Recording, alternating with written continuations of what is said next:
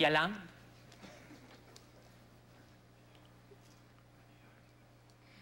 Yolande?